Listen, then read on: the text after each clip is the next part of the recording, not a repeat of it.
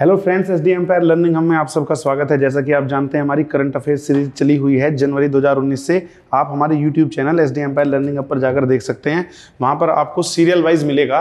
जनवरी और फरवरी में पूरा अपलोड कर चुका हूँ। एक से पंद्रह मार्च दो हज़ार उन्नीस का भी मैं अपलोड कर चुका हूँ। ये जो करंट अफेयर्स मैं आज आपको देने जा रहा हूँ, ये आपके सभी वनडे एग्ज़ाम के लिए समान रूप से उपयोगी साबित होंगे।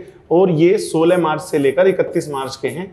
इसी तरह मैं आपको अप्रैल, मई, जून, जुलाई आगे तक भी पूरे करंट अफेयर्स प्रोवाइड करूँगा। तो चलिए पहले क्वेश्चन की तरफ़ बढ़ते हैं कि विश्व के सबसे बड़े आर्टिफिशियल इंटेलिजेंस शिखर सम्मेलन का आयोजन किस देश में किया जाएगा? तो अब तो ये हो चुका है, क्योंकि मैं तो बैक डेट में दे रहा हूँ। तो संयुक्त अरब अमीरात। और इसकी जो थीम है, वो याद रखिएगा ए आई एवरीथिंग ए आई मतलब आर्टिफिशियल इंटेलिजेंस नेक्स्ट हाल ही में विश्व के सबसे शक्तिशाली ऑपरेशन रॉकेट फॉल्कन हैवी ने अपनी पहली वाणिज्यिक उड़ान सफलतापूर्वक भरी। इस रॉकेट का निर्माण किस कंपनी द्वारा किया गया है? तो इसका सही जवाब है स्पेस ये अमेरिका की एक निजी स्पेस कंपनी है स्पेस एक्स इन्होंने जो सबसे शक्तिशाली ऑपरेशनल रॉकेट, फॉल्कन हैवी, इसकी पहली कमर्शियल उड़ान जो है, उसको सफलतापूर्वक लॉन्च किया। मैं आपको ये बता दूँ कि स्पेस एक्स जो ये निजी कंपनी है, इसकी स्थापना एलोन मास्क ने की थी 2002 में, और ये इसके अभी सीईओ हैं। इसका मेन एम ये है कि जो स्पेस ट्रेवलिंग कॉस्ट है, अंतरिक्ष की जो परिवहन की लागत है, उसको कम करना और मंगल ग्रह पर मानव बस्ती की स्थापना करना। Next UNESCO Guillermo Cano press स्वतंत्रता पुरस्कार 2019 के लिए किसे चुना गया है? तो इसका सही जवाब है वालोन तथा क्याव सो ऊ। ये राइटर्स के दो रिपोर्टर हैं, उनको ये पुरस्कार मिला है। इन्होंने किया क्या था? म्यांमार के राखिन राज्य में मानवाधिकार उल्लंघन की रिपोर्टिंग की थी। और इसके बाद रोहिंग्या मुसलमानों पर म्यांमार में हुए अत्याचारों की रिपोर्टिंग करने के आरोप में इनको गिरफ़्तार करके जेल में डाल दिया गया था।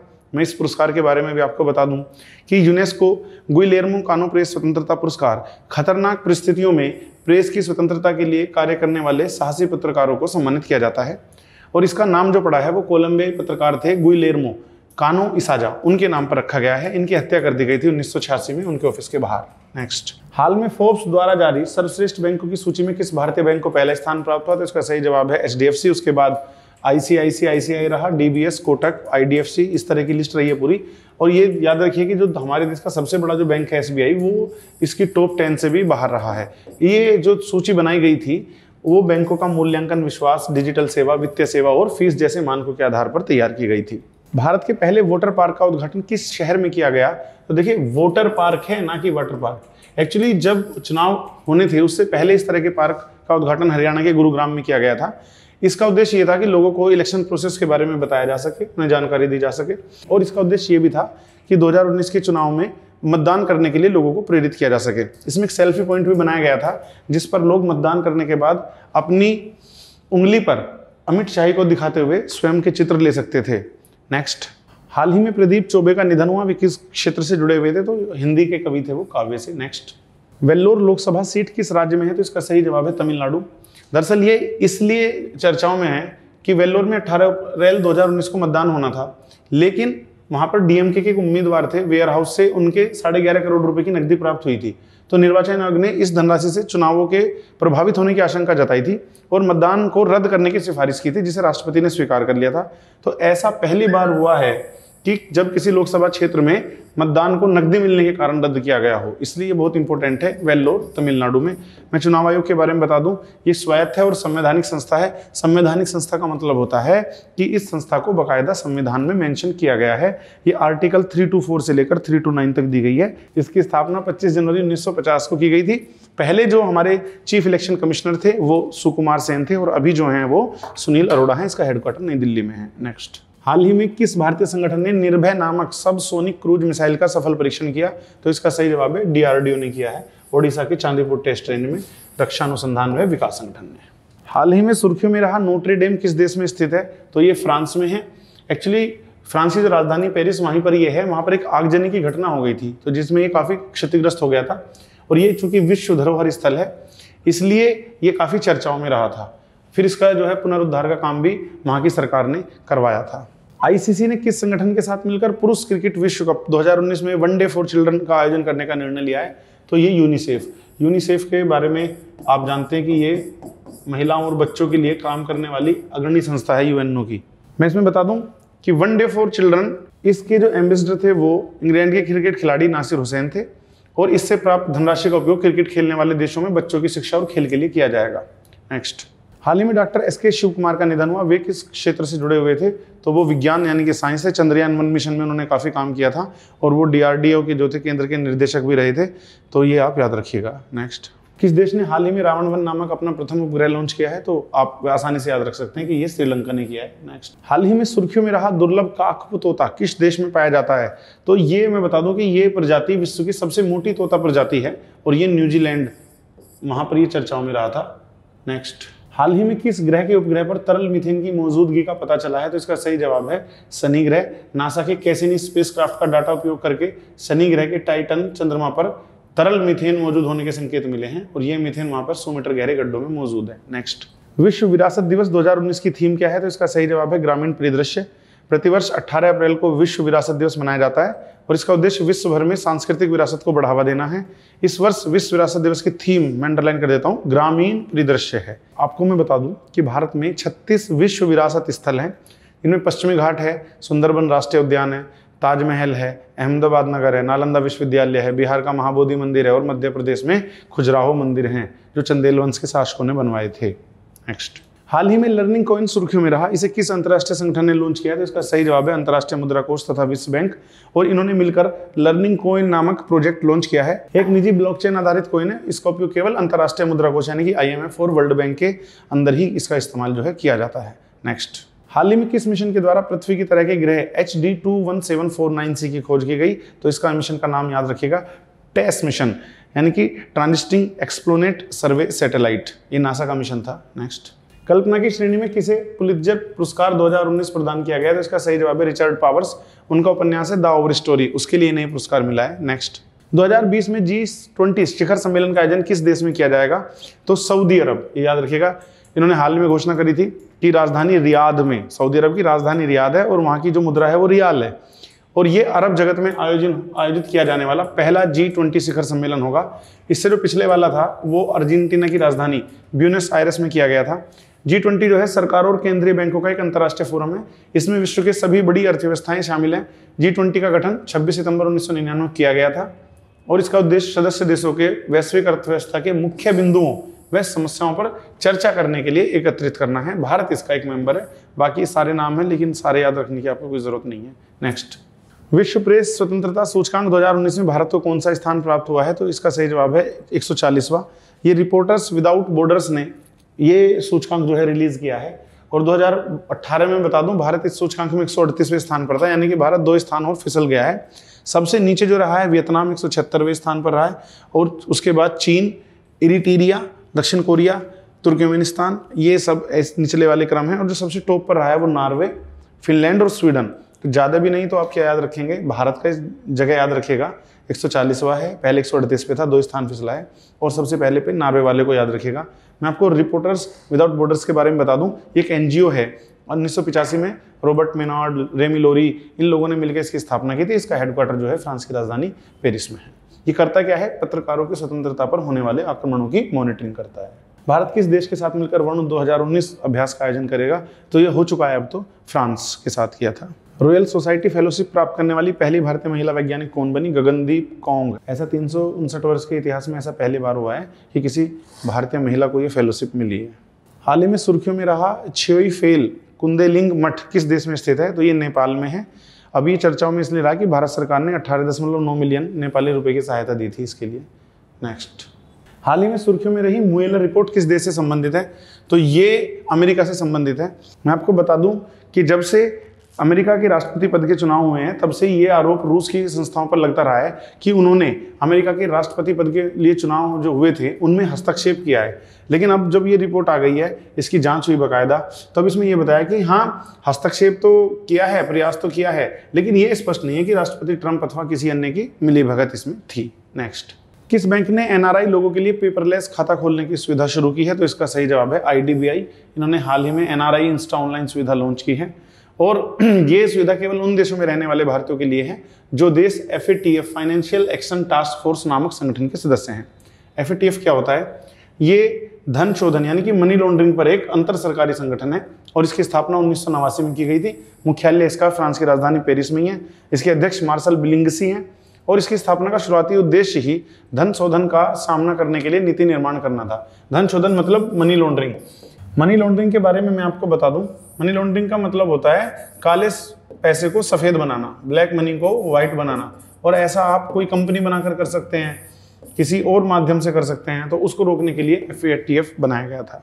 संतोष ट्रॉफी 2019 किस टीम ने जीती? तो इसका सही जवाब है सर्विसेज़ ने जीती और फाइनल में इन्होंने पंजाब को हराया। नेक्स्ट हाल ही में किस बल ने इम्फाल नामक गाइडेड मिसाइल डिस्ट्रॉय लॉन्च किया? इसका सही जवाब है भारतीय नौसेना ने। और ये स्वदेशी रूप से निर्मित है। मिसाइल विध्वंसक पोत इम्फाल है।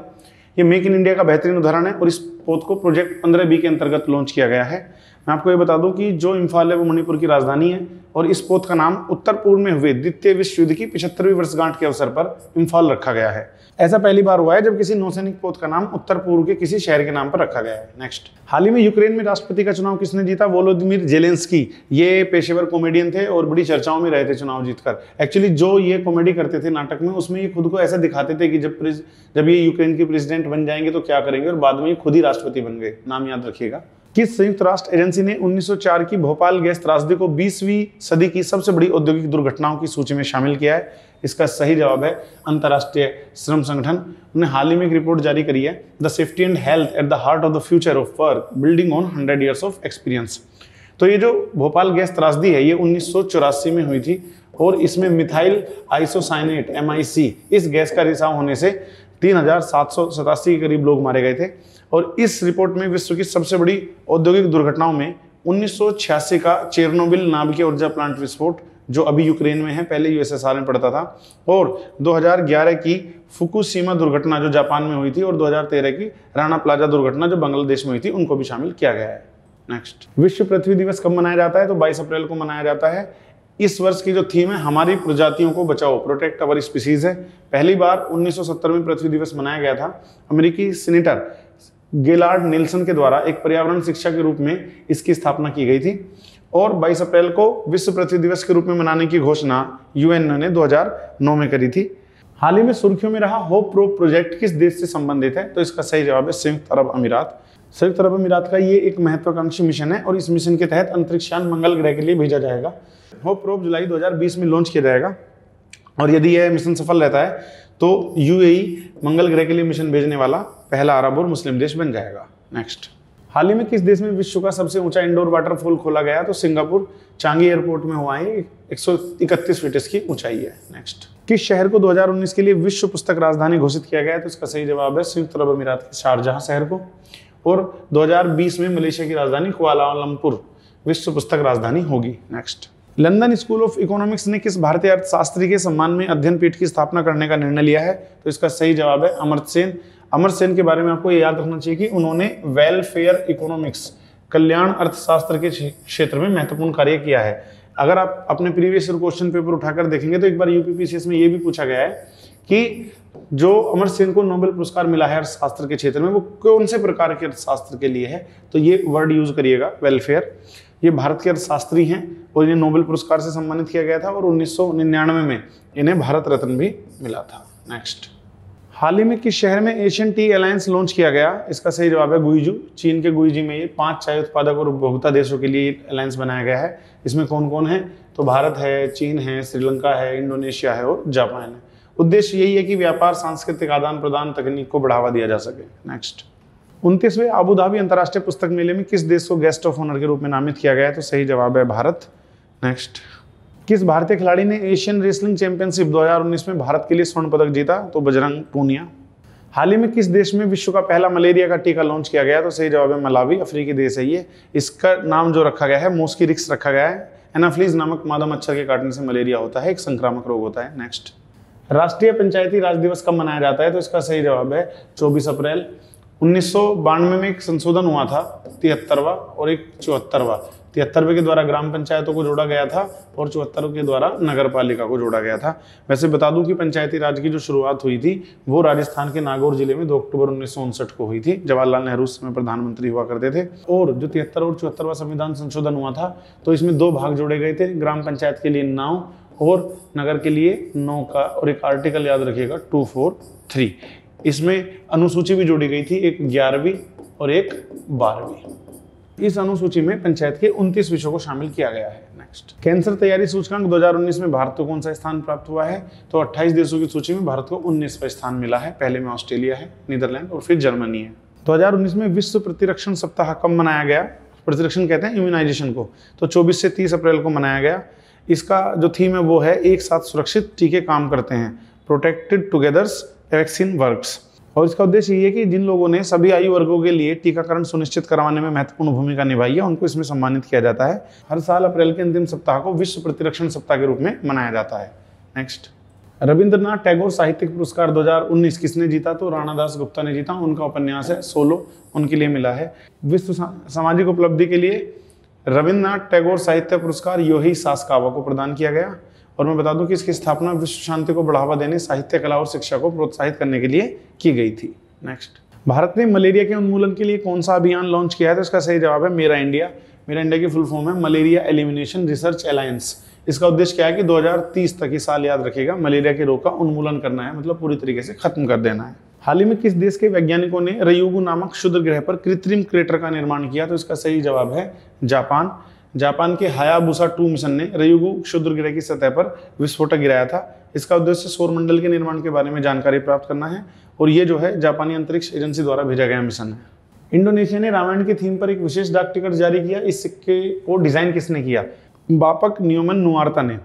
और मैं आपको ये भी बता दूँ कि भारत और इंडोनेशिया के बीच राजनयिक संबंधों के सत्तर वर्ष पूरे हो गए हैं। इस वजह से इंडोनेशिया ने रामायण पर विशेष डाक टिकट जारी किया है। और इसमें एक दृश्य भी दिखाया गया है, जिसमें जटायु को माता सीता की रक्षा के लिए वीरतापूर्वक लड़ते हुए दिखाया गया है। भारतीय रिज़र्व बैंक द्वारा जारी किए जाने वाले बीस रुपए के नए नोट में कौन सा ऐतिहासिक स्थान चित्रित है तो एलोरा गुफा।